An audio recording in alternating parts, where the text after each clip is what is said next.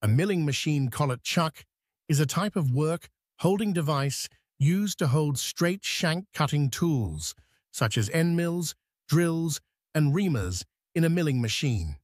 A collet chuck is a precision-engineered device that uses a collet, a slotted, flexible sleeve, to grip and hold a cutting tool. The collet is typically made of high-strength steel or alloy. Collet chucks provide a precise, concentric grip on the cutting tool, ensuring accurate machining. Collet chucks exert a high clamping force, preventing tool slippage or movement during machining. Collet chucks allow for quick tool changes, reducing downtime and increasing productivity.